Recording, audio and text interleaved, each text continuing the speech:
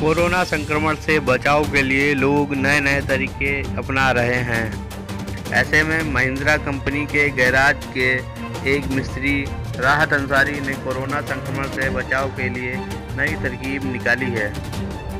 Mahindra garage में काम करने वाले मिस्त्री ने बगैर किसी बाहरी सामान के एक ऐसी मशीन तैयार की है, जो कोरोना संक्रमण से बचाव के लिए पैरों से इस्तेमाल की जाती है।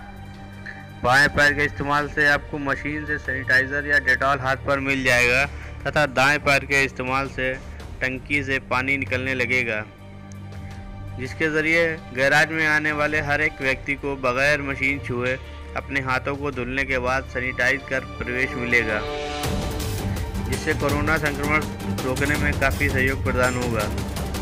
संक्रमण रोकने वाली मशीन को बनाने वाले मिस्त्री की महिंद्रा गैराज में आने वाले लोग तारीफ़ कर रहे हैं।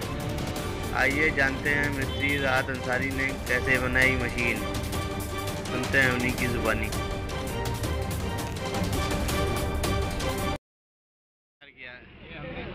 की वजह से वो नहीं आदमी हाथ लगाता है बार बार वो चीज़ छूता है तो इसे छूना नहीं पड़ेगा। इससे संक्रमण फैलने से रोक मिलेगी थोड़ी बहुत ज़्यादा कम।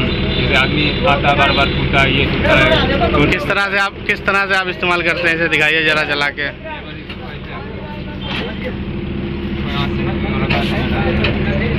दाबा इसे निकलेगा यहाँ से। जी। अब इसको रोके भी यहाँ से दाबेंगे। नहीं निकलेगा यहाँ से।